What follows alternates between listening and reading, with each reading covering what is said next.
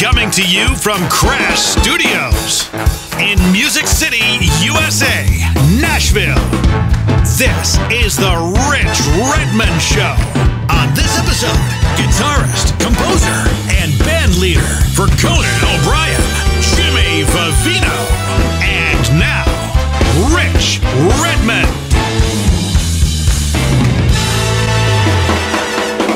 What's up, folks of podcast land? Rich Redmond here. It's yet another exciting episode of the Rich Redmond Show. This is a solo show. Usually I'm joined by my co-host, co-producer, sidekick, Jim McCarthy, Jim McCarthy, voiceovers.com. Jim had some sort of massive family thing today. So we're getting right into this. Coming, we're both coming from Southern California here, but I'm so excited. I've got a my guest today. Whew, music business royalty, folks. We're talking, this is an American singer, songwriter, guitarist, and music director and arranger for Conan O'Brien for 28 years. My friend, Jimmy Vivino. Hello. What's How you doing, up, partner? man? I'm good, Redmond. Yeah, man, it's I- good to see you. I I I, uh, I see you. What you have a nice like black and white. It looks like L.A. and the or is that New New York? You know what? This is New York. What's that building right there? Oh, that's that building. That that's the Triangle Building. Yeah, yeah. Isn't this like the meatpacking Right district or something? We're 23rd in Broadway and 23rd, right around there. Yeah. Well, Yeah, you lived yeah. in That's- you lived in New York for a long time. Yeah. Yeah, that's the iron. Yeah, uh, yeah. Well, yeah. That's why it looked familiar, but uh, you know, it looks better in black and white, like everything. It's You know, classy. it's just- There's it's- something, yeah, black and white just makes everything so timeless and classic.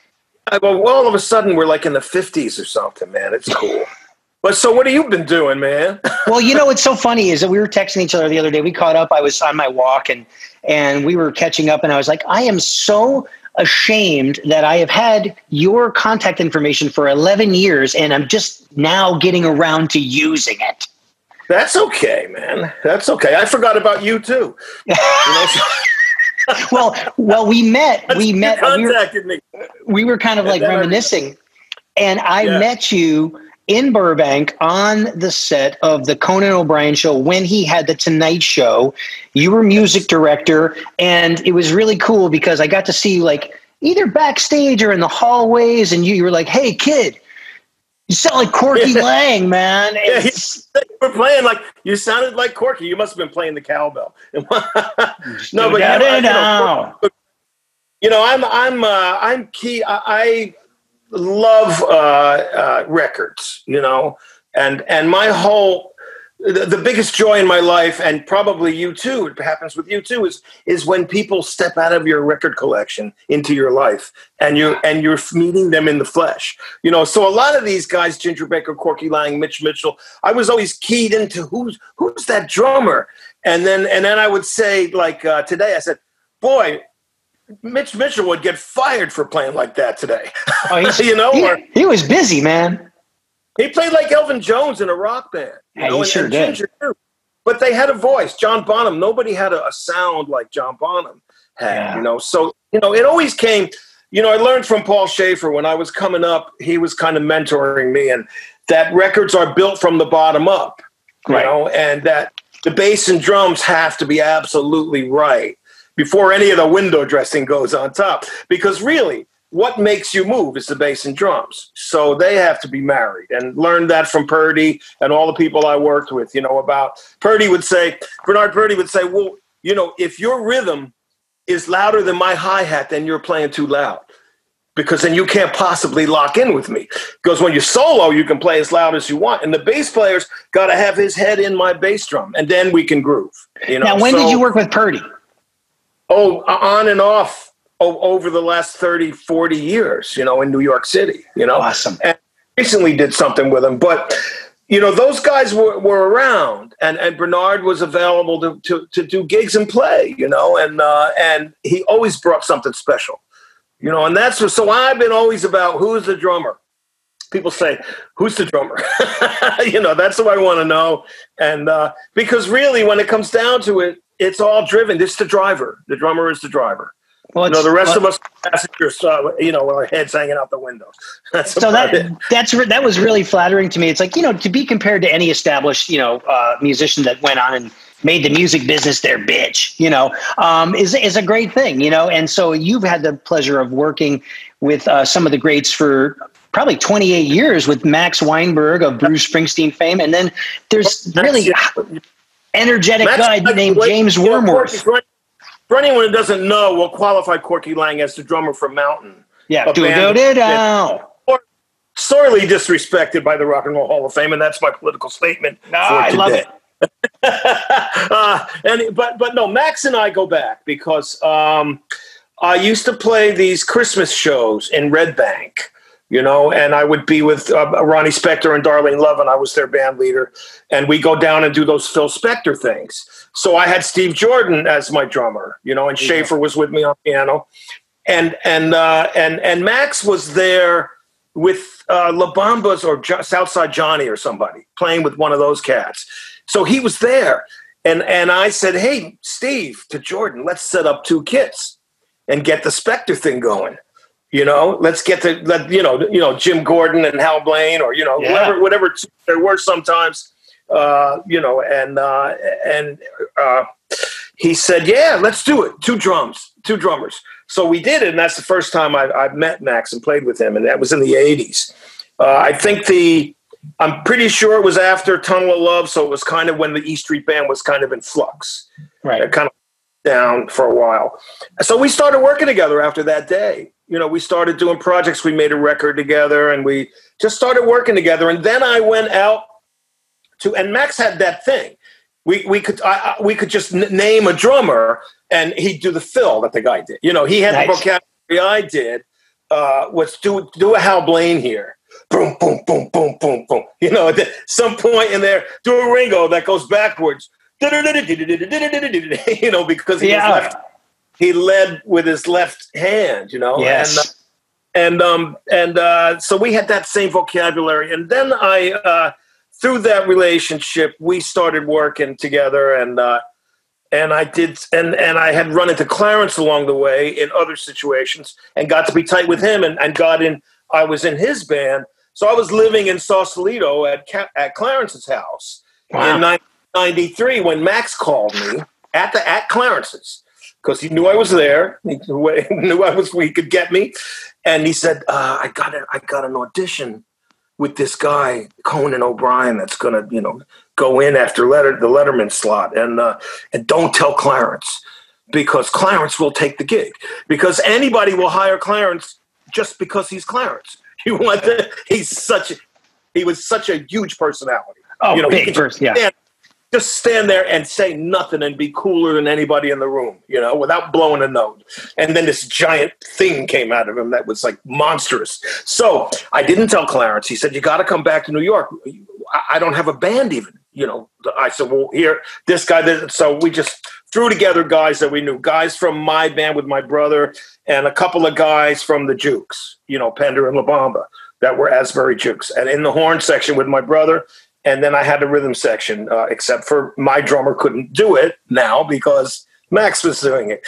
So, um, so then we got together and we put a program for our audition. We were going up against really hip downtown bands like the Lounge Lizards, like John Lurie, you know, the, the, the Sex Mob, those guys that, that were really, you know, way cool. And, and, and since uh, Howard Shore was involved, uh, through through Broadway Video, which is uh, Lorne Michaels' company.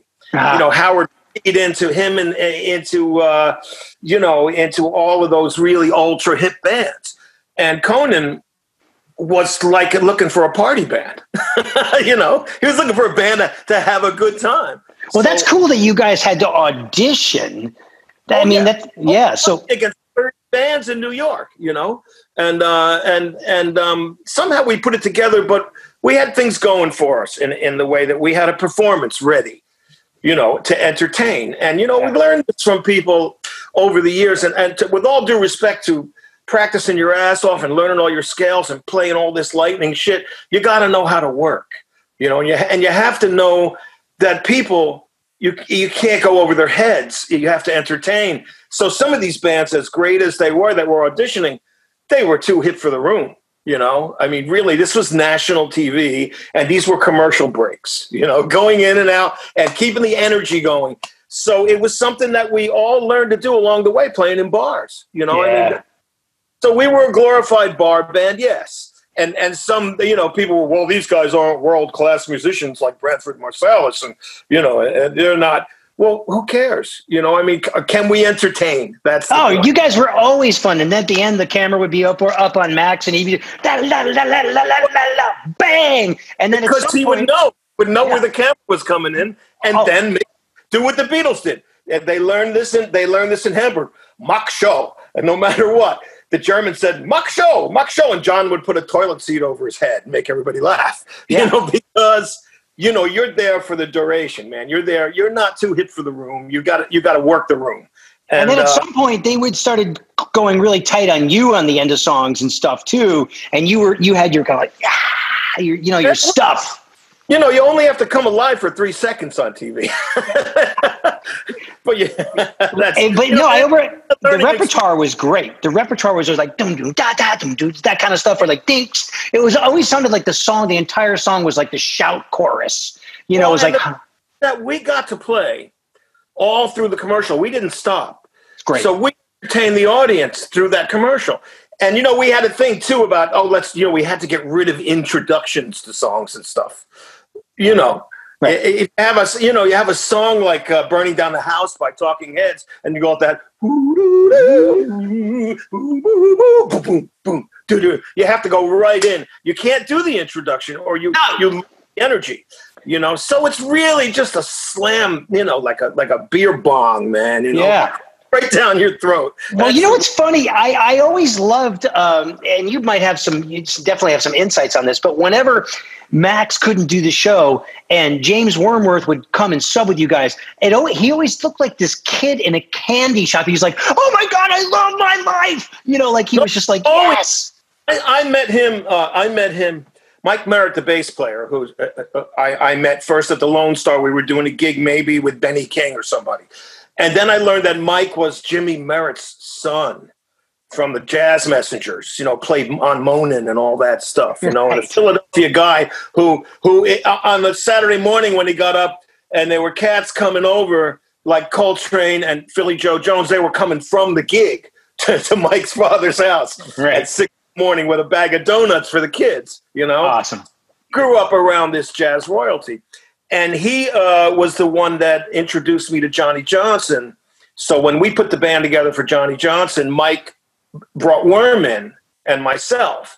Uh, so and that was, uh, you know, Johnnie Johnson was the that was the turning point in me, you know, uh, in blues royalty. I mean, I had played with a lot of guys. I backed up a lot of guys always, and and women, all more women than men through my life.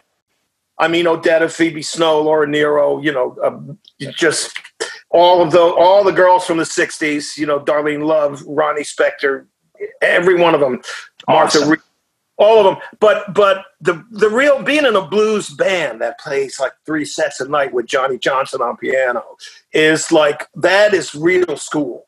You know, that's that's the real deal. So then I I always knew that as much as I could play everything because I started as a trumpet player and an arranger and Oh, I didn't know writing for orchestra.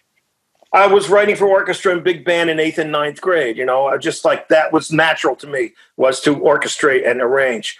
As much as I liked all that, the blues was always the thing that got me. Those Chicago blues records and those Mississippi and Memphis and Texas, and I got into all the regions and finding the different grooves, the different Yeah. drummers, the different styles. You know, that rub shuffle from Texas, totally different from the Chicago two-handed shuffle. You know, and then there's the shuffle that the guy used to play with uh, uh, uh, Ernest Tubb.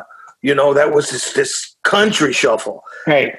That was like a flat tire shuffle. Boom. And now no one plays the shuffle. I was talking to the kids, you know, they're, they, the kids don't do the shuffle. It's just the thing because they don't hear it on the radio. You know what I mean? But it was Yeah. so funny. The key, and, and I've had this discussion with Steve Jordan forever, and that is the underlying feel of everything. Yes. If it's not swinging underneath it, you know, there's you you can sw- you can hear the shuffle between the spaces if somebody's swinging on a straight groove, even. You know, that's that's the whole thing. I mean, English guys had a bottom shuffle. They went from the bass drum, boom, boom, bop, boom, boom, bop, boom, boom, bop, and and American guys had a top shuffle, two-handed shuffle, and the bass drum just boom, boom, boom. You know, the English guy said it's and that becomes you know it gets really guys with two bass drums going. Oh, yeah, and then and then you chase it back. It's a different shuffle, but it but a shuffle is essential, uh, as is a straight rock beat and a rumba. You know that yeah. that that like New Orleans rumba, boom, rap, boom, yeah.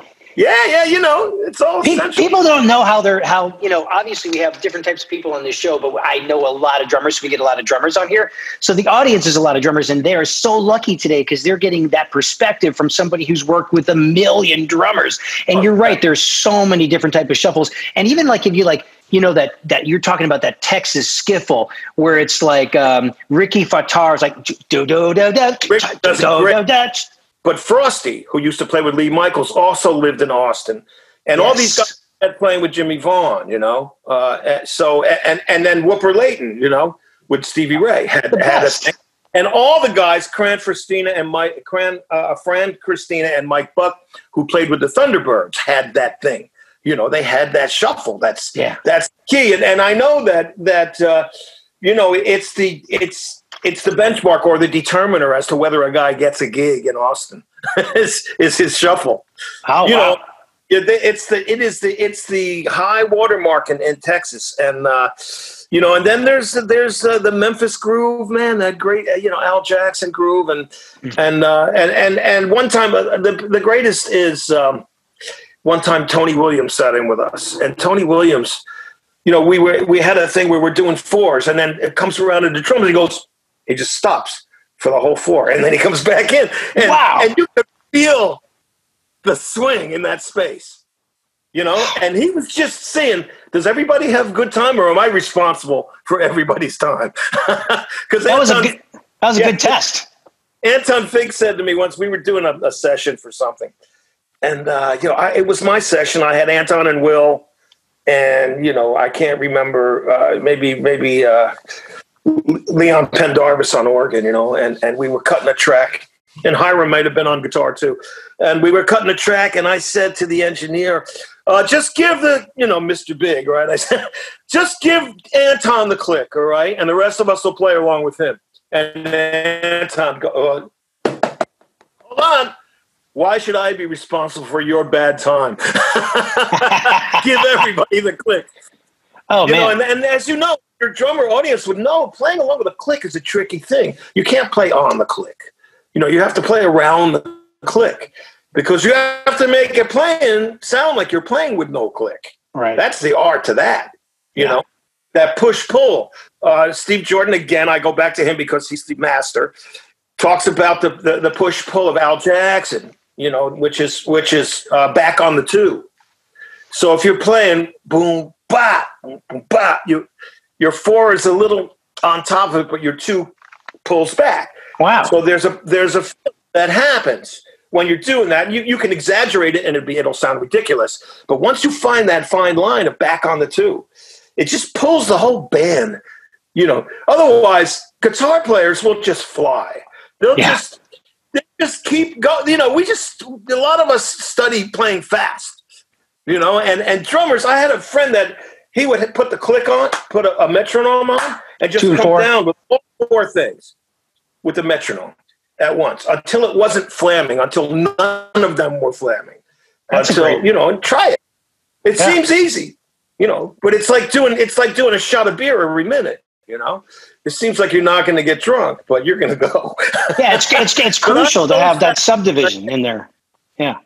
Yeah, well, the you know the the the independence of drummers. Uh, fascinates me. Uh, you know, uh, DeJohnette would say the, the, the groove is coming from anywhere on the kit. Don't think it's just coming from the bass drum or the, yeah. you know. So it's the whole kit, and and uh, and drummers are better. Uh, they have better time. They have more chops, but they have less swing, as we said, uh, in a lot of ways. You know, uh, the music doesn't require it as much.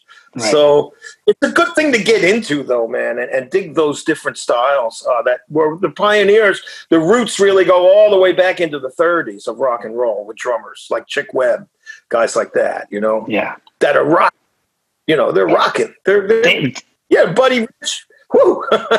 Gene Krupa was rocking, man. Gene Krupa, Oh, and he, he, was rocking. Man, he's the kid father of rock and roll drumming, you know? Showmanship. Because he's also he's also got the thing Dino Danelli had with the you know with the Rascals. And that was the, you know, twirling the sticks and throwing them up and and that that whole boom, boom, boom, boom, and making that face, you know.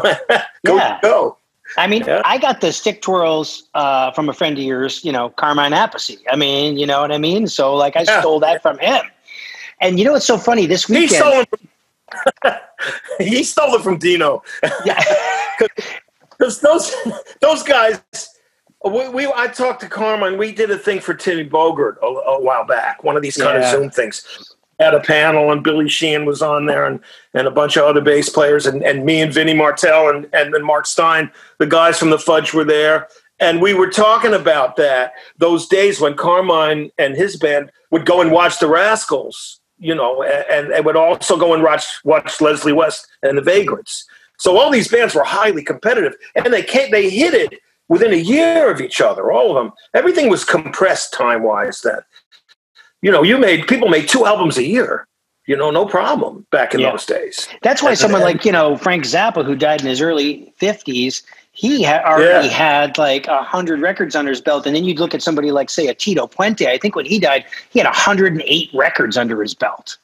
It's incredible. Yeah, I yeah. mean, The just incredible. Did everything. Years. They did everything over eight years. Seven, seven. Except that Ringo personally said when I said, "How long? How long?" You know, I, I said it was actually only seven years. It's amazing. He goes, no, actually, it's eight because I did a, a, a drum, a, a cymbal overdub on Long and Winding Road in 1970. Uh, won't 70. So it goes from 62 to 70. He says, Wow. You know, uh, y- you know, and uh, and I did ask him. Uh, I did ask him the big question. You know, I, I, I was I was compelled to ask Ringo this question, and I said, uh, "Okay, man, you, what was it like, you know, to be in the biggest band in in the UK, and then be asked to join the Beatles?" and he said, "Oh yes, I was with Rory Storm and the Hurricanes." Making more money than anybody, you know. I was making fifty pounds a, a week or something. He said, and I and, I- and I, I took a pay cut to join this Beatles band. I said, yeah, but it turned out pretty good for you, man. And he was a difference maker. His Mersey beat is, uh, you know, nobody talks about Ringo now the way they did in 1964 when everybody was anti Beatles as musicians. We Right. all learned. Everybody learned, but those, uh, but the jazz musicians in and and session musicians in America were kind of just like taken aback. They didn't get this thing. But when you listen to Ringo's playing, go go ahead and do it. You do it, yeah. And now these new mixes, the mono ones, where you really hear feel that Mersey bass drum, boom, Yeah. boom, boom. You know, it's like, yeah. And look at that Washington video where he's playing so hard the drums are flying away from him. You know, I mean, just to think, you know, to to play Shea Stadium and the girls are screaming so loud, and the audio visual equipment was way under par. It wasn't like the we didn't have modern hardware. The cymbal stands are moving. He didn't was not playing with a click track. They could barely hear each other, and he the guy's playing rock solid time. Yes, and they had some side fills, no wedges, right? And and and the thing is that that, that they put in the ten thousand hours Yep. as a band, and didn't even have to hear each other anymore because they were they were beating. One heart was beating, you know. So And they were so young to have been so accomplished, and thank God that happened. I mean, 1964 was a game changer for so many musicians. Yeah, yeah, and they had been touring all over England since '62, so they were putting in the time. And and Yeah. before that, I think it was in '61, maybe was the first time Ringo started sitting in with them. You know, and and they were noticing the difference. You know, they were no, wow, it comes Yeah. to life. Well, I mean, and Paul McCartney can pick up any musical instrument. He can pick up a set of bagpipes, and within 30 minutes, the guy's playing it. Like he could Yeah. make that. You know, I think you know, like Sting is kind of the same way. I mean, he could pick up any musical instrument. He's making beautiful Yeah. music on it. Brian Jones was like that. Yeah, Yeah. Yeah. Um, this weekend, after I talked to you, I had a. It was like a Jimmy Vivino playlist party on Spotify. So I went to go hear this live record that you have on there. I think it's called 13. It came out in 2013. Yeah, oh, yeah, we haven't even gotten into Levon Helm as a drummer. That's like, oh yeah, we, we we get we could definitely talk about that. But it's so funny. There's a playlist on Spotify. It's called Jimmy Vivino's Blues Covers Uncovered playlist, and I could definitely see the history of blues and then the current state of like people, modern guys doing. But but this some of these guys have got to be your heroes. Your Howlin' Wolves, your Muddy Waters, your Yeah. BB Kings, your Robert Johnsons, your Sonny Boy Williams. Who Yeah. was the first guy that said that where you said, I'm gonna do that? Bloomfield. There Mike you go. Bloom- Mike Yeah. Bloomfield. Because, because um, in Chicago, you know, the Butterfield Band was the first integrated band. You know, they had an African American rhythm section with Sam Lay on drums and Jerome Arnold on bass. And they had a they had a the best rhythm section. So that's why they're better than the Yardbirds. They're better than the Rolling Stones as a blues band. They're better than they than than even Fleetwood Mac as a blues band, who were great by the way, who were Wow. just top tops. And even Mayall, they're better than the Mayall band at Wow. the same time in 1964 5, all right? Because to, with all due respect, those English cats, they they they scrape the money together to buy 78s from sailors and learn learn these songs and put them on and learn them as well as they could, you know, uh, being out there discovering this thing.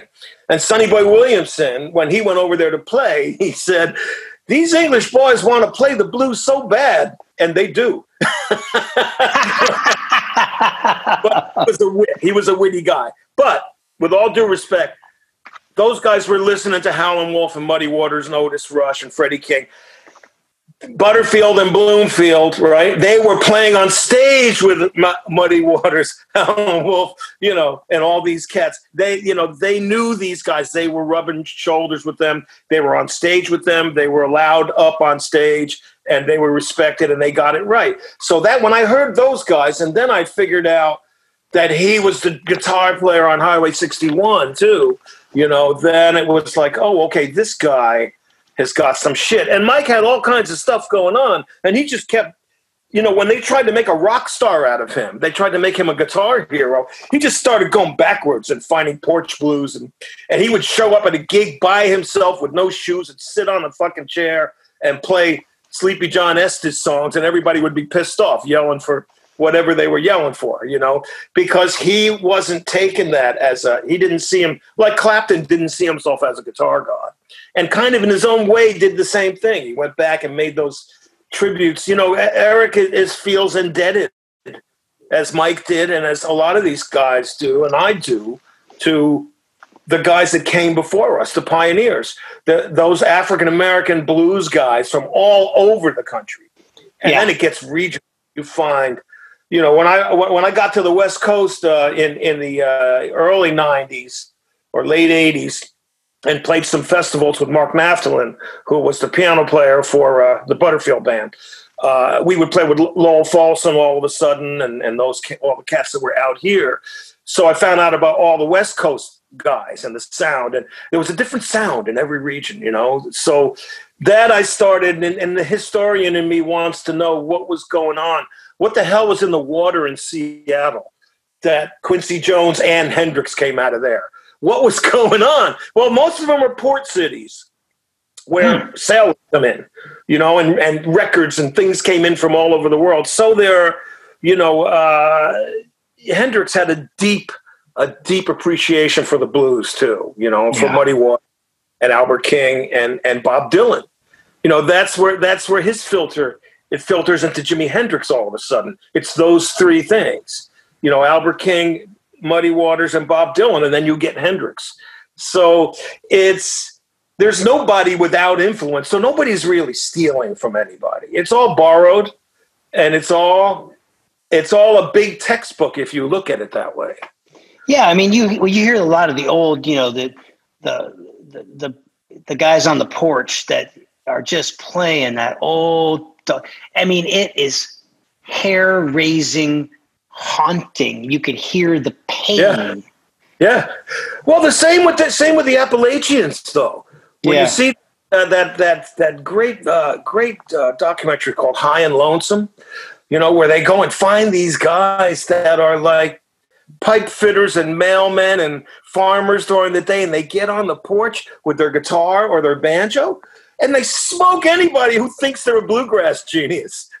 you know, it's just better. And they, and Larry Campbell, my friend Larry Campbell, who's a great guitar player and multi instrumentalist, you know, he always tells me he goes down to back down to Tennessee, to Jacksonville or wherever, and and and sits on the porch with these guys because his wife is from down there, and he has his mandolin. But there's guys that you know have missing fingers that play from Thrasher accidents that play mandolin better than Sam Bush. Sorry, Sam, it might yeah. be true. you know, wow. so it's yeah, you know that music. All that music has a root, uh, and and it, and it's not meant to stand still. So you know that music is not, uh, especially when you talk about bluegrass, blues, jazz, improvisational music. It is not meant to be to take that record and learn every note on that record and play it that way every time you play. That would be a Broadway show, in my yeah. opinion. Yeah. So it's about can you get the feel, and this is where it all comes back to drummers and the feel is the main thing. You can play a lot less burning licks if you can play a groove.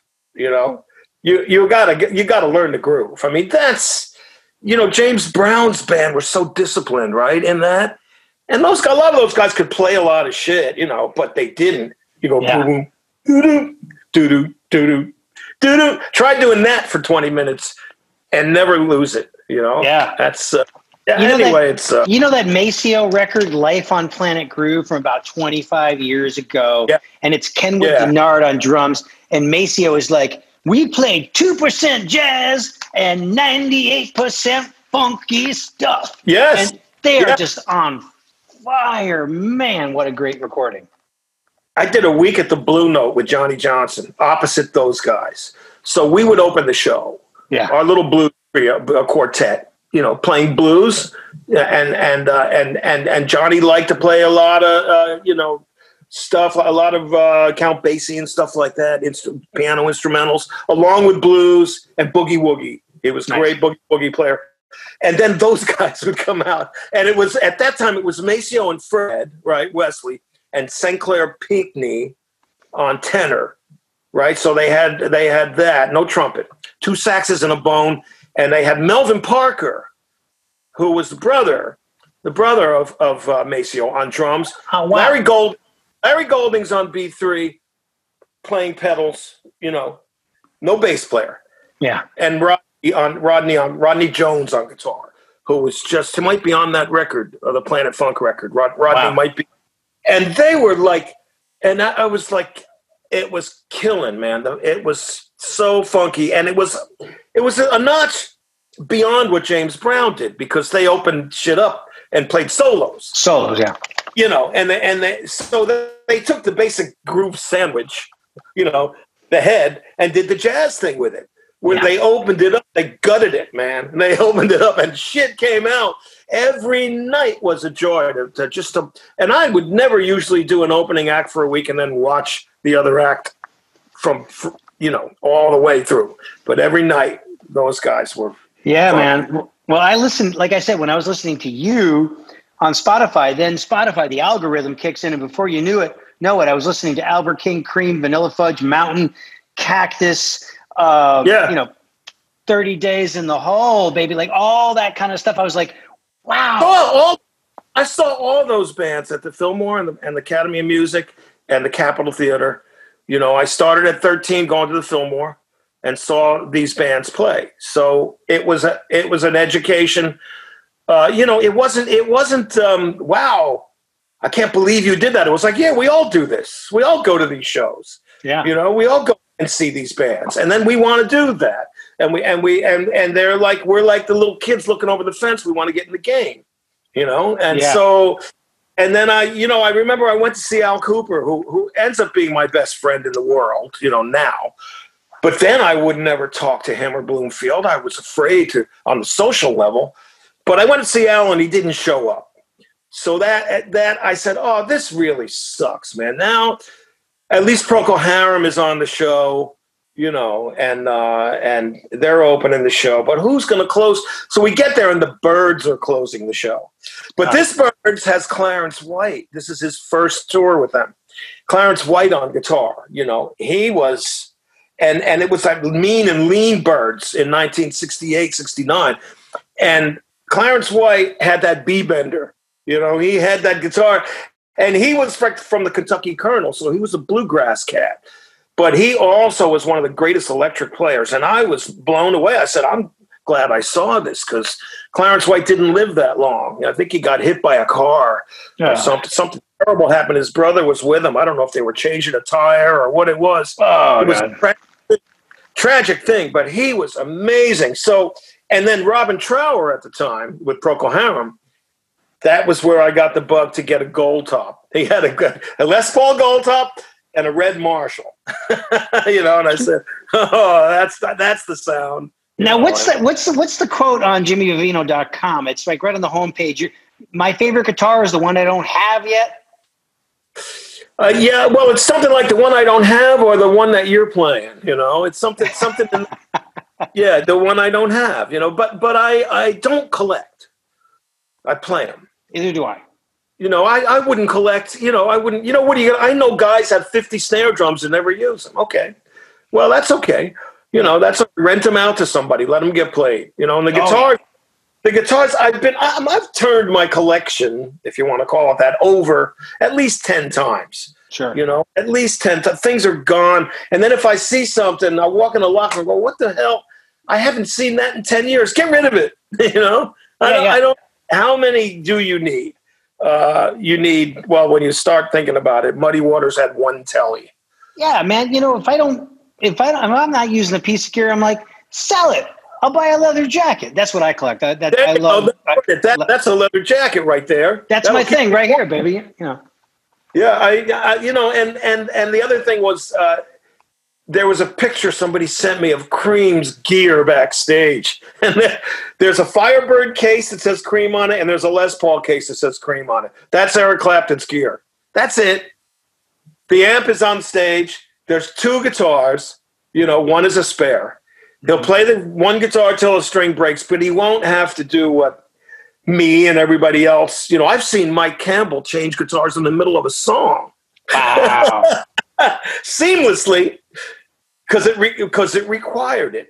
Sure. So we're, so we're, we're, and and it's part of the fun too. I think uh, you know people want to see. My buddy Joe Bonamassa, he's got the collection, and he blames me for his habit, but that's yeah. not. I knew his father. I do know his father, and his father. Uh, we would do these things uh, at Five Towns College. His guitar show, vintage guitar shows.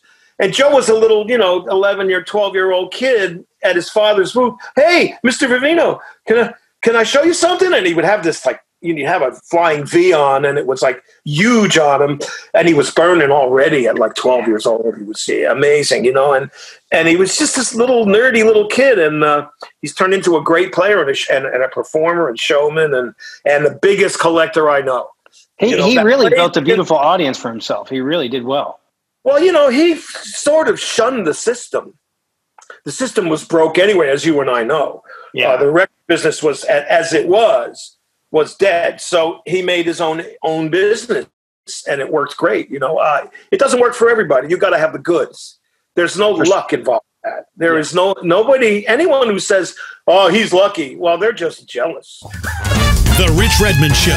We'll be right back. Those who are self employed, especially musicians, think homeownership is unattainable. For Bruce Klein, it took seven years to purchase his first home as a self employed working musician. But once he did, man, was it satisfying. So he decided he wanted to help other musicians and creatives gain that same satisfaction. Bruce earned his lending license and is now helping people avoid the mistakes he made on his seven year journey. If you're a self employed musician, he can help. Go to musiciansmortgage.com, powered by Movement Mortgage. Bruce Klein, NMLS, number 1465948. Movement Mortgage supports equal housing opportunity. NMLS, number 39179. NMLS, consumeraccess.org.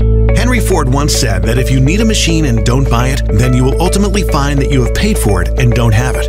Nothing could be truer about energy efficient LED lighting in your business. At Big Dot Lighting, we can show you how a portion of your savings from a commercial LED lighting upgrade will be paid for in hardly any time at all. Until then, you're paying for them anyway. Book a no cost lighting energy assessment with Big Dot Lighting. At least 30% of your utility bill is waiting to be saved. Go to bigdotlighting.com. Are you a drummer looking to expand your drumming vocabulary or take your career to the next level? You can connect with me for one on one virtual lessons and consultations that are now 30% off. I cover topics like styles, reading music, the Nashville number system, charting, music business 101, and career guidance. Simply send me an email at booking at richredmond.com to schedule. And for more information on all of my products and services, visit richredmond.com. This is the Rich Redmond Show. I tell all my students, like, look at if you have haters, and you will, you, if you have haters, you're doing something right. So just persist, like own your shit, and just keep moving forward, and everything will work out great. But I talk a lot about the idea of relationships and how people in any career path are the gatekeepers to success in life. And you've had this 28 year relationship with Conan, who himself is fancies himself a guitar player, right? Doesn't he do a lot Well- of shredding backstage? Maybe it's maybe I, I'm only feeding him a little bit of information so I can stay with him for 35 years. But uh, he's doing great. No, he he's really got something, and and we have that connection. We had that connection right away. You know, it was it was through rockabilly and Gretsch guitars, and we just Yeah. talked about dirty shit. You know, Well, he's And, got uh, that rockabilly haircut, man. well, natural. He's got the best rockabilly hair. I'm so jealous. I have no hair, but uh, but it's always been fun, you know, because he would say, "Yeah, hell yeah! Hey, can we get? Let's get Scotty Moore on. Yeah, let's get Scotty Moore on. You know, let's get. Uh, you know, all, we had the Sun Rhythm section. We had Carl Perkins. You know, and uh, just just all kinds of all kinds of uh, Setzer all the time. You know, and uh, and I I said to, uh, it was great when Carl Perkins was there because Carl Perkins ended up playing on the Johnny Cash show in the 60s. When you watch that Derek and the Domino uh, uh, appearance, you'll see Carl Perkins in the end doing, I think they're maybe they're doing Matchbox in the end. And then Carl's playing on his old, uh, you know, micro frets guitar. And so Carl came on the show and I asked him, uh, I said, you know, you, uh, you uh, spent some time playing in Johnny Cash's band, but Luther Perkins was his guitar player. Are you guys related? And he said, Well, son, I ain't saying we are, I ain't saying we ain't. so I, I don't know what that means, and I never want to know what it means. But Yeah. uh, both great guitar players. And uh, and you know, in and Nashville is like Austin. You throw a rock and you hit a great guitar player, no matter what. Into a crowd, you're going to hit a guitar player, you know, and a great one at that, you know. And it's always been a guitar city, so uh, you know, it's not what it used to be. Broadway is like a a rock show. bachelorette party now, but Yeah, that's it's a- okay. Yeah, it's, a, it's like yeah. When I'm back in the day when dinosaurs roamed the earth, and I moved to Nashville in '97, like we, you know, I, I really had to do a crash course in like Tammy Wynette's greatest hits, and you know all the stuff. I did like I the kid from Connecticut did his research, learned it. I would go and I'd be on stage and I'd follow, and I learned to speak that language. And now the language down there is it's, it's all just like anything from like Jimmy Buffett to Lynyrd Skynyrd to Jason Aldean at warp Yeah. speeds. Yeah. It's cl- Yeah. classic rock bands, but there's a couple of holdouts down there. Of course, any tourist that goes there, I say make sure you go to Robert's Western World. That's where the Yeah. drummer's way high, eh, up in the up in the air through the window, and they just play traditional honky tonk music with an upright bass player, Yeah. which is really I- fun. when I first went there back in the, uh, in, I guess the early '90s, uh, late '80s, early '90s, and and the cats were uh, Greg Morrow, yeah, Greg is still killing it. Yep, Chad Cromwell. Those were the those were the A guys uh, back Yep. then. and You know, Chad and is, and they're still in the mix. I knew Glenn Worf and uh, and John Gardner and and uh, you know the guys in the Blue Bloods. You know, knew Mike Henderson. So Dude, I knew Mike Henderson band. he played in Open Sea, and Mike Henderson also made the best moonshine I've ever had in my life. Oh, So- did he make it in his uh, bathtub? I don't know. I gave him a, a Silvertone, just like the one he had. I said, you know what? I'm not worthy of this. Here, have a spare. So he like made me a case of moonshine and drove it up to New York. Wow. Said, well, you know, you can't fly with this.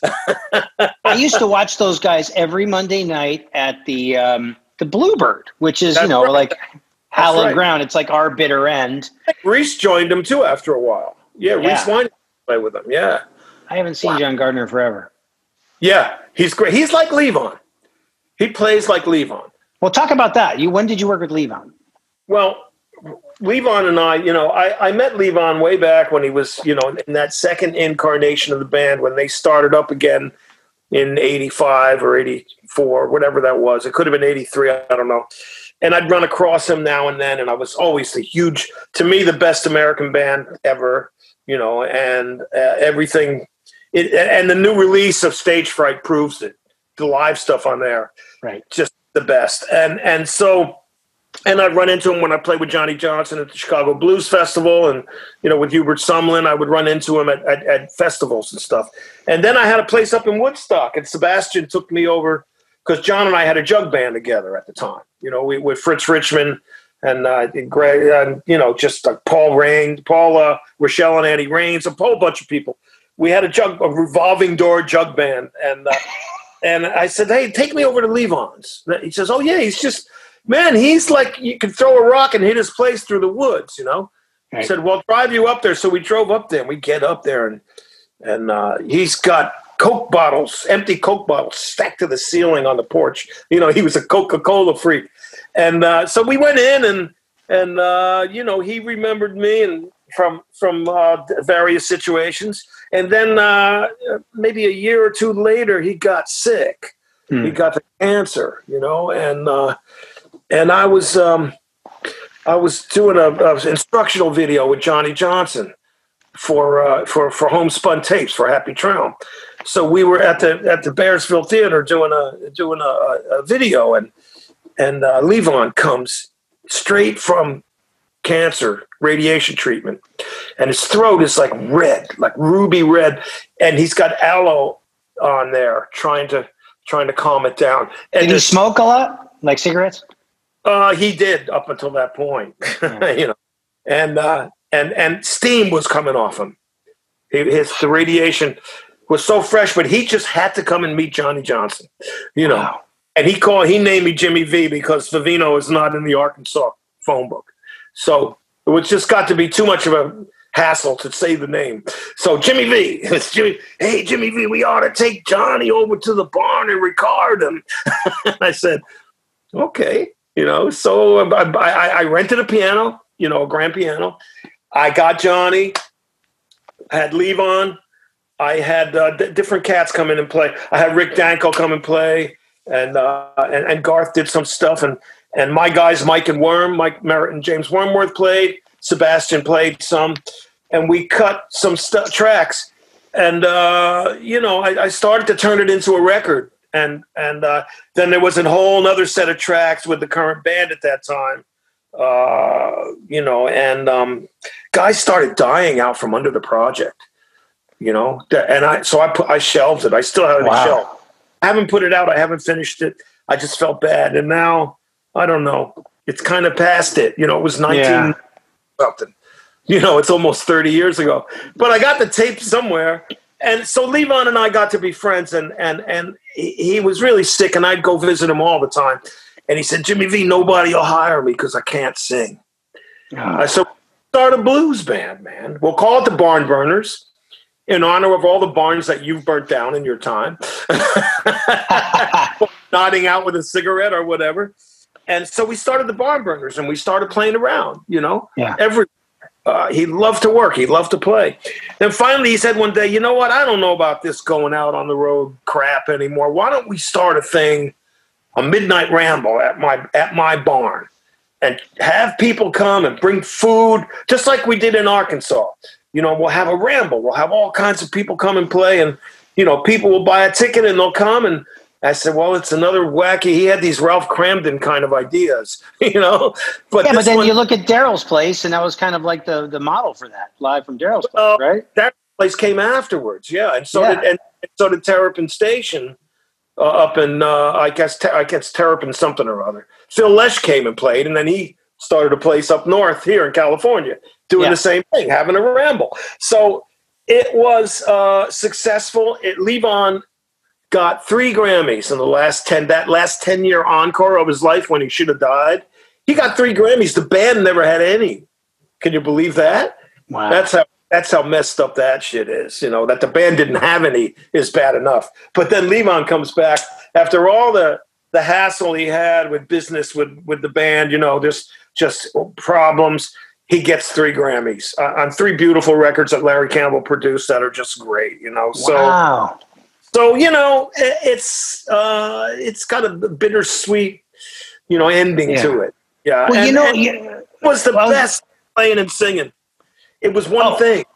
It was one thing. You know. to me, it's the Don Henley thing, and this is what I like to tell my drum students: is like pretend that you are singing the song.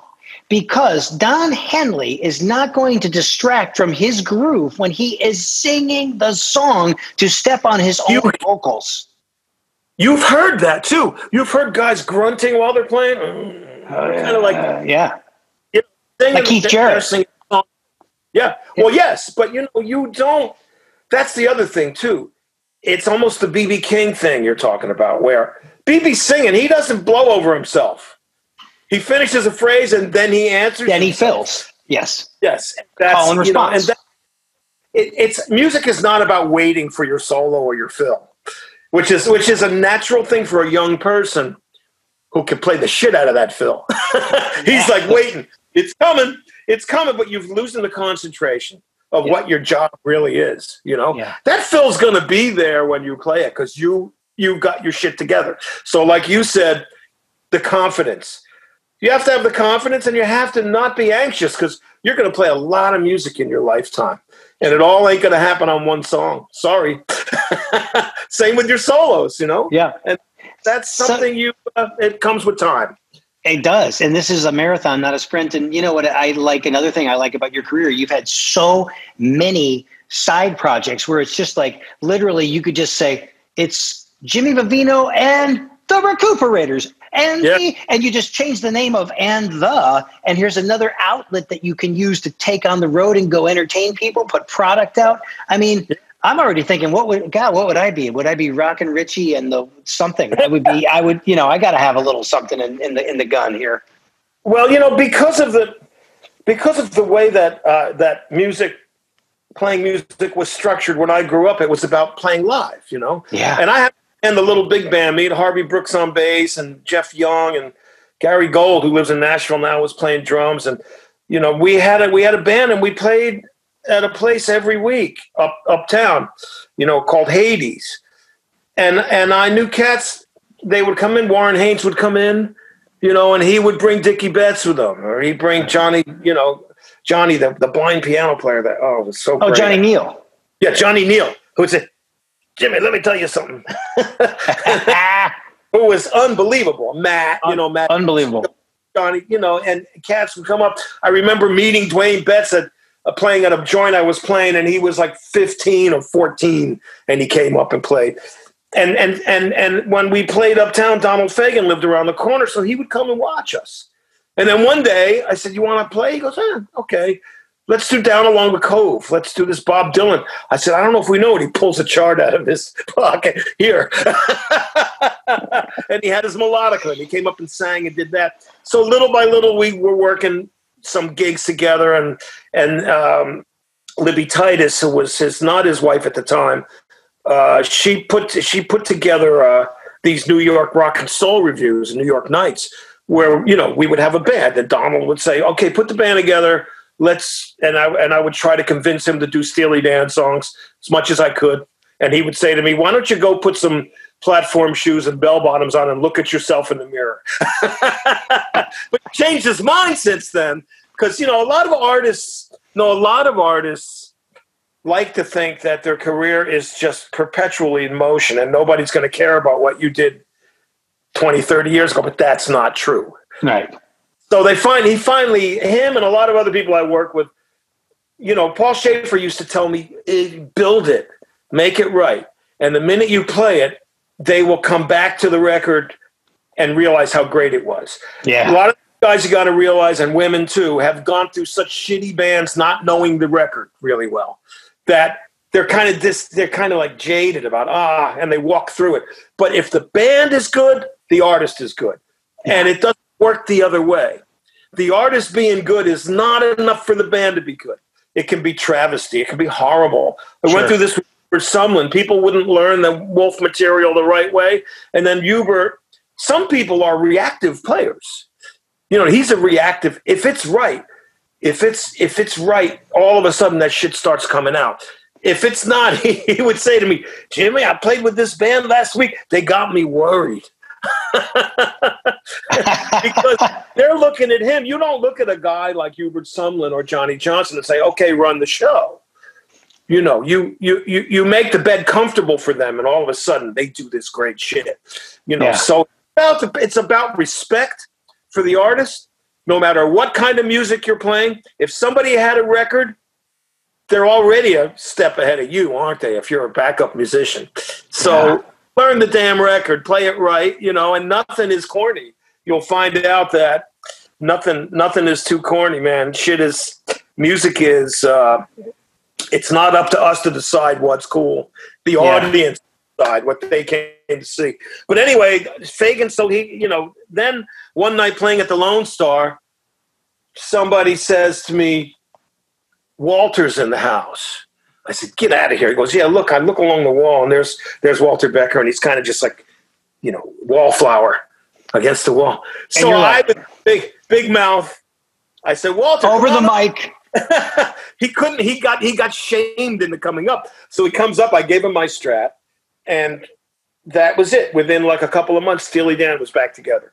Those guys were back together. So I, I'm not saying it was all up to me, but I sure forced the issue and said I want to see that.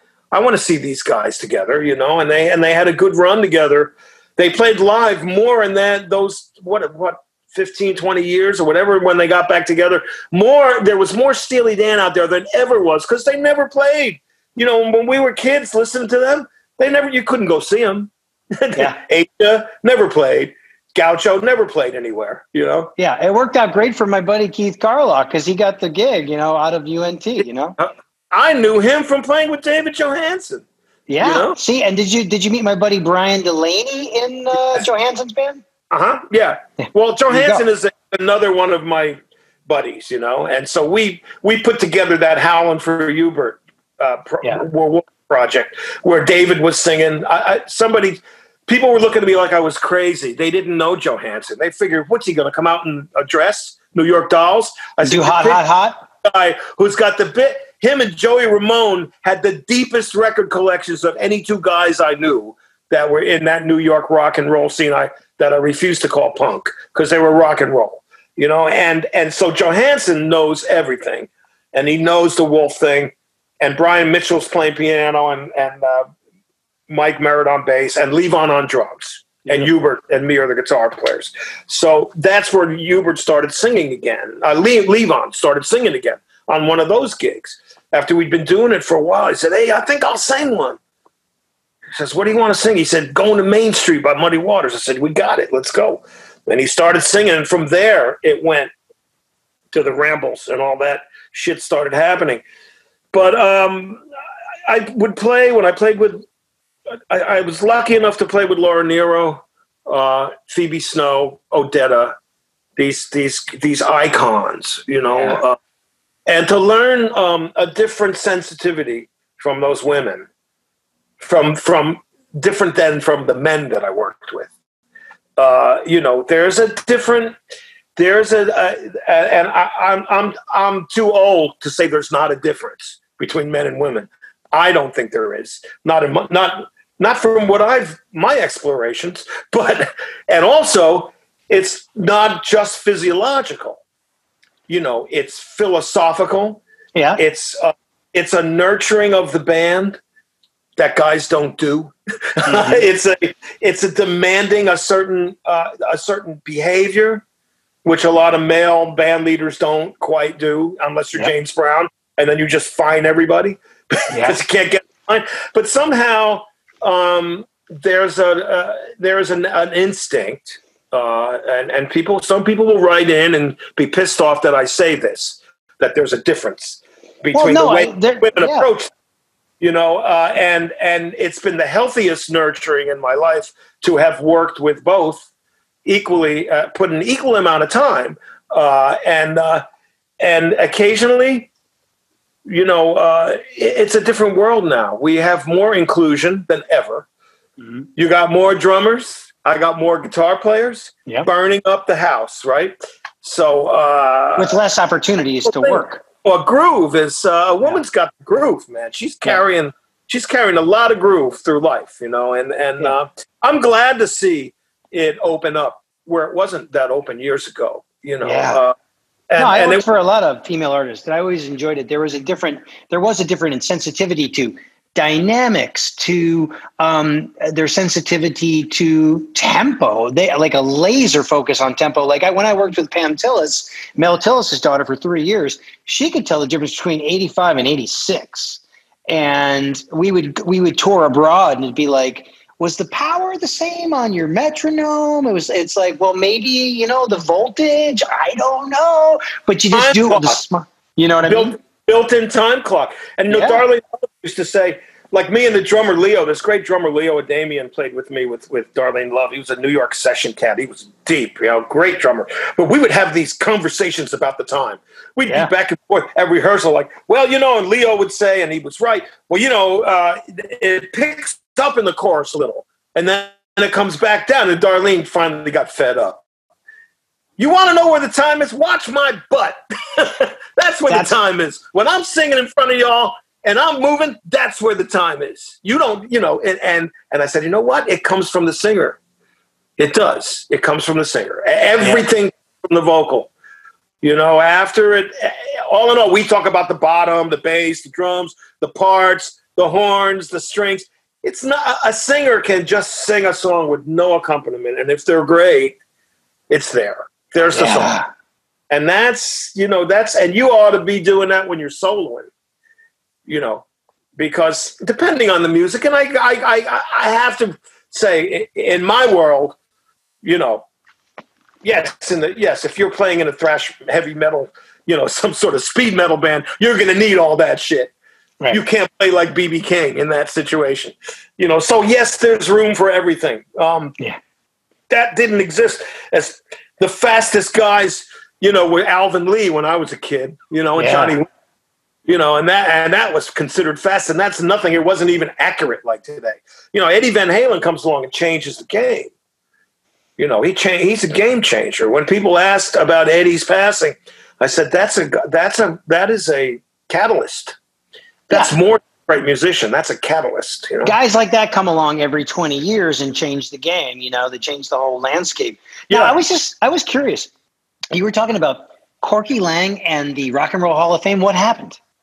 Well, there's no mountains not in. Mountain isn't ah, in there. Gotcha. I no, thought like Mount. Joe Bonamassa and I have a thing every year. We pass around the hundred people that should be in that aren't. You know, and uh, and you'll you'll be shocked to find people like Benny King and Carole King.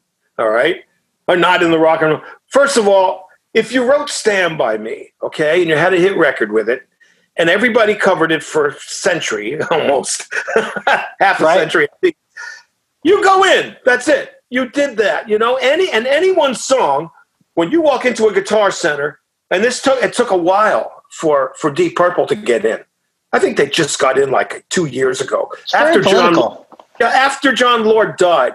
But you walk into a guitar center for 30 years and you hear smoke on the water from some little eight year old, you're in.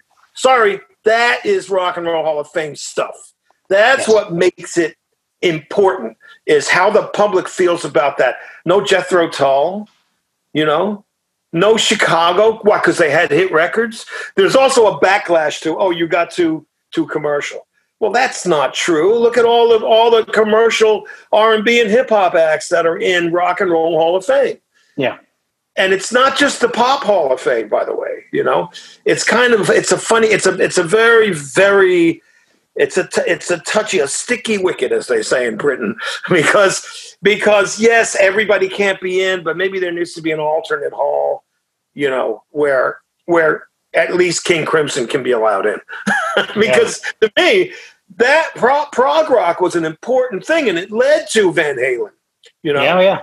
And that, you know, that led to the yes, you know, what Steve Howe was playing, that was sparking Eddie Van Halen to do what he did. So they don't have any room for influences anymore. For a while, they tried to do that. But, uh, you know, Catalyst Game Changers influence and riff masters. You know, people who, yeah. you know, you know, I, I, you know, that's that's that's a it's a every year around this time, it's a real thorn in my side because I, you know, I, I don't understand the pecking order of that politics. But yeah, we all go get the records and listen to them and screw watching the Hall of Fame thing. So it's just yeah. Spotify's great for that, like you said. Though it just like starts feeding you stuff what, that fits an algorithm of what the record you were listening to is playing. So you're going to get traffic and Johnny Winter and all of my influences coming. My Fillmore shows are going to start coming over Spotify to you if you.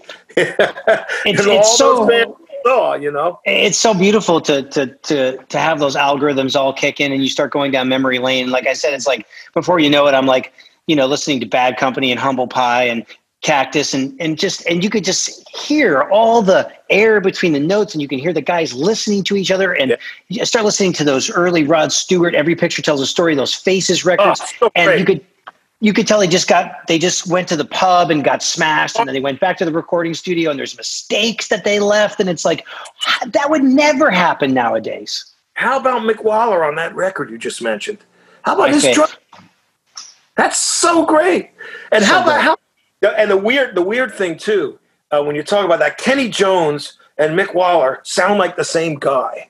Yeah, you know, Kenny's on Maggie May. He sounds like Mick Waller. Mm-hmm. You know, I, I it's I, it's it's it's it's uncanny. It's a sound. It might have been the studio. Might have been the drums were tuned that way when they walked in. You know, I don't know. Guys didn't. You know, in, in 1970, whatever, they didn't have a drum tech coming in to tune the drums before the session. Oh well, that's how Aynsley Dunbar left him. Okay, well I'll play him that way. you know, totally. And that was the sound. That's where I got into a conversation with somebody like Dan Penn or somebody about studios having a sound. You know, and uh, and we talked about Muscle Shoals a little bit. You know, having its own sound. And I found a picture. I think maybe Spooner told me this. Yeah, they had everything set. You didn't touch a knob when you walked in because that was their sound. And Motown had the same thing. They had the guy. They Motown had this sort of a pole. It was a square pole with a guitar input and a little car speaker with a volume control. Right. No head. And you plug your guitar in there. It goes either direct into the board or into some amp that's somewhere. You know, and you and you hear the sound come out of that of the whole band coming out of that little speaker while you're playing. And oh my god! And you you don't say, "Hey, I got to turn up. I don't like my sound." No, the engineer and the producer decided what your sound was. You know, and and at and at Muscle Shoals, there was a shelf above the guitar players' heads, and oh, fame. That's up there, and there's a picture of Wilson Pickett with Bobby Womack and Jimmy Johnson. Uh, you know, um, and and and Bobby Womack and Jimmy Johnson are the guitar players, and Pickett's just talking to him. And coming down off of that shelf are coil cords. And off the shelf, the coil cords go into your guitar. The amps are above your head and you don't touch them. The sound is set.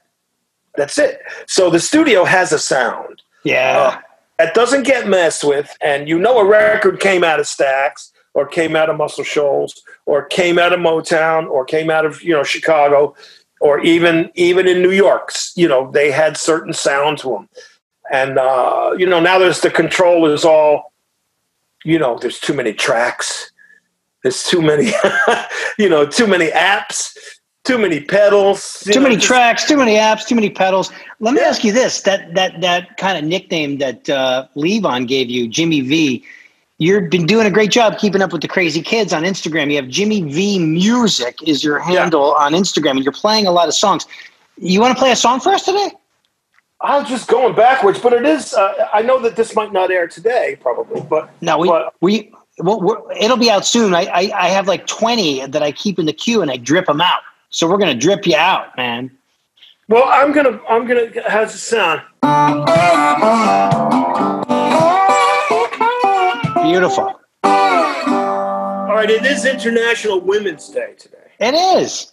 And Laura Nyro, and I've I've been on a mission uh, since playing with her to reclaim the respect for this song that Blood, Sweat, and Tears uh, de- destroyed, that they ruined. Uh, it's not a corny song. It's not. It's called "And When I Die," and this is uh, what was intended.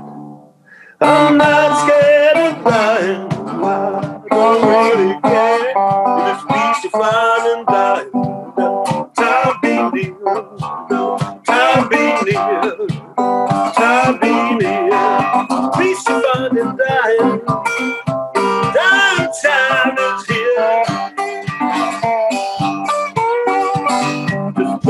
my coffin.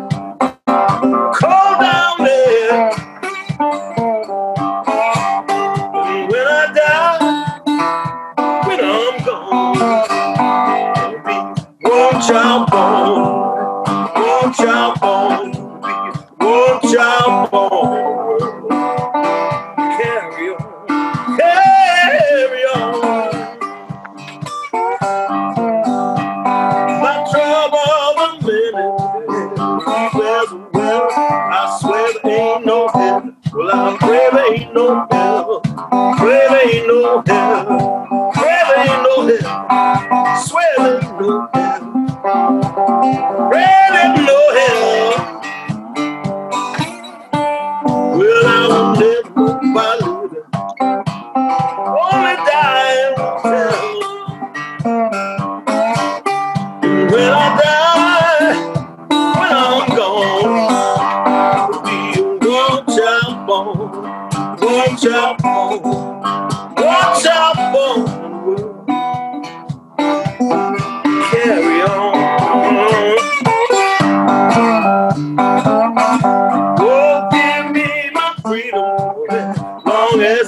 all I ask for living is no chains on me. Change on me, no chains on me. All I ask for is living. Have no chains on me. All I ask of life, let me go naturally. When I die, when I'm dead,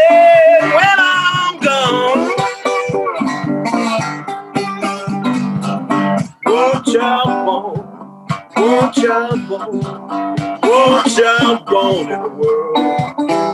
Carry on.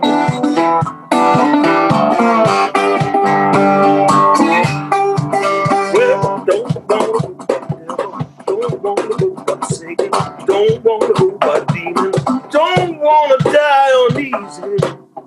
Let me go naturally.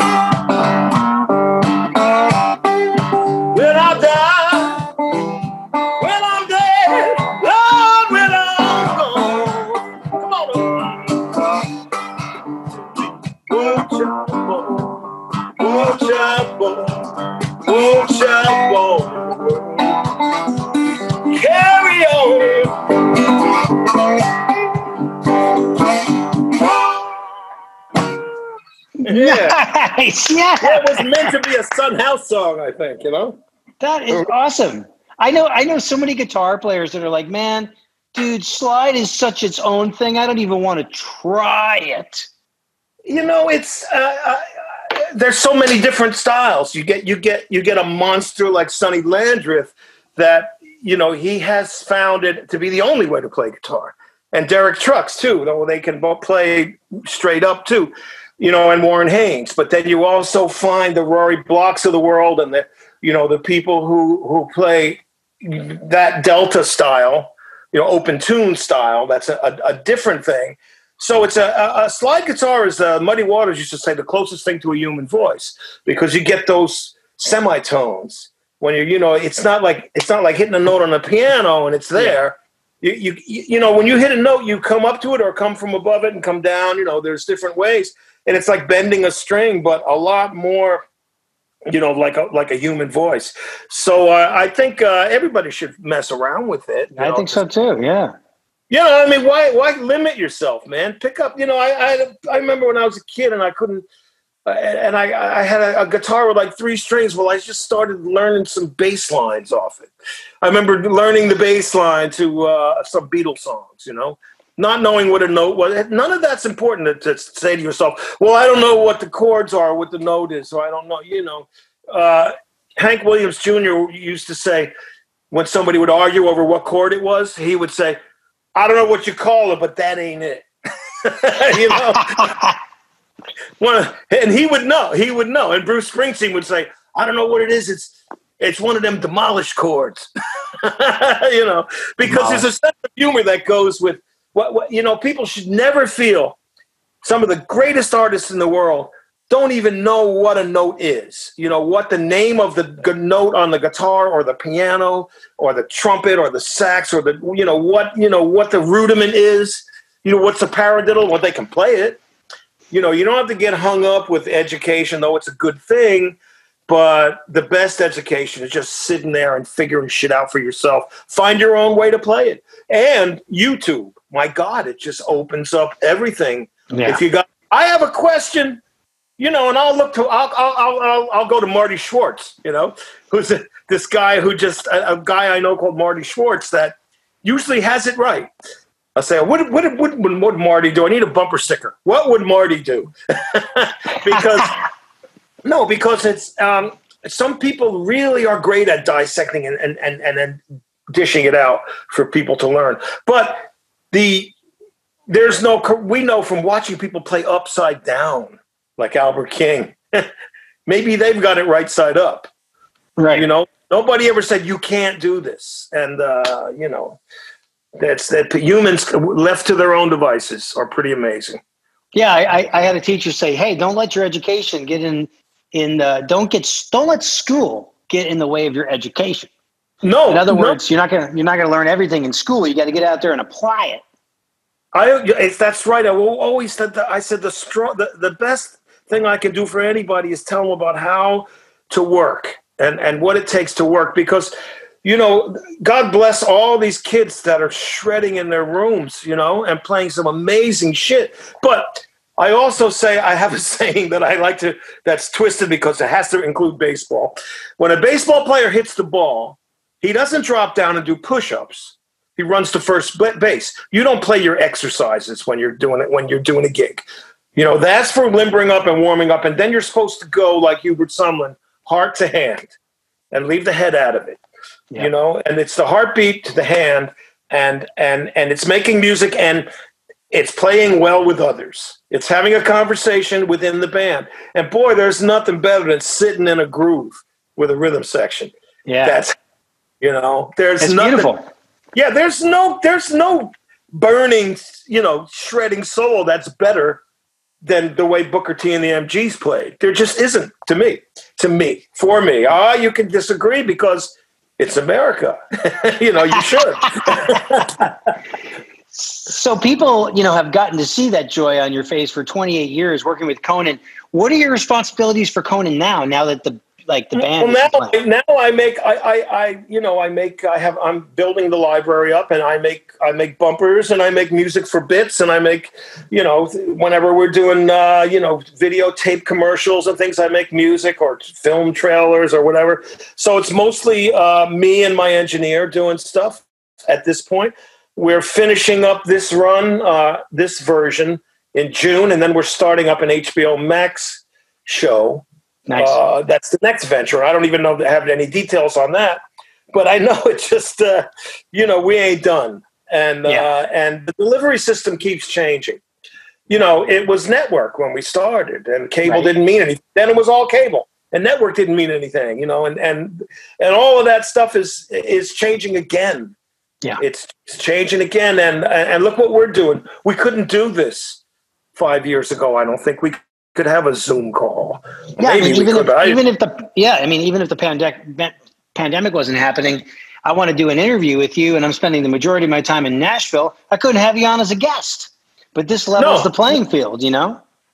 Yeah, and we'd have to, you know, we'd have to meet up somewhere and Yeah. do it, you know, and then and then uh, you know, it's it's um, th- th- there's the, the, if you got you got to find the good in this thing, you know, because we can all go cra- absolutely crazy. And me, I'm just going backwards and exploring old songs the way Mike Bloomfield did, and the way other cats that I, I admire did, and I keep going backwards and but I'm trying to do them my own way. You know, so I, I did something today. I, I think I played a, a song by Dale Hawkins called "Little Pig" today, and I threw in a Keith Richard riff from Can't You Hear Me Knocking, and somebody wrote in saying, "Oh, is that where that came from?" I said, "No, but I stole it from Keith." Like you know, like it's it's it's borrowing. You know, yeah. you try to make it. You try to put all the ingredients you gather in your life into the stew that you're that you're making. And so, like I always say, man, it, it, it's admirable to be able to sit there and play every note of a solo that somebody else played, but they couldn't do that. yeah. if you if you transcribe every note of a John Coltrane solo, he'd look at it and go, "Give yeah. me my horn." That was that, that was a moment in time that was captured. Yeah. No, I mean it's so, it's great. It, it's like archaeology, you know, to do that. Do you uh do you make a good sauce, a red sauce? Are you kidding? Oh, of course. Yeah. it's a survival course. I got, I got to have, I got to try that eventually. This was so fun, man. This is the kind of thing that can go on for hours. I got to, I actually got to jump into a faculty meeting for Musicians Institute, but we're right around the corner from each other. I hope this all goes away. I know it will. It'll come back. I want to come see you play. I want to connect with you. I want to try your red sauce, and yeah, I want to tell everybody. For sure, I want to. I, I, want to I want to tell everybody to make sure that they visit your website, jimmyvivino.com, and on Instagram, you're Jimmy V Music at Jimmy V Music. Check check yeah. out all the great stuff you're doing there, man. Thanks so much for your time today, man. Thank you. Thank you. We'll play together one day, Corky. Oh, dude, I can't wait. I cannot wait. And to all the listeners out there, thank you so much for your support. I got an email address for you, the Rich Redmond Show at gmail.com. And as always, subscribe, share, rate, review. We sure appreciate it. Keep coming back for the good stuff. Thanks, Jimmy. Thank you. All right. I'm out. Awesome. Thank you, brother. This has been The Rich Redmond Show. Subscribe, rate, and follow along at richredmond.com forward slash podcasts.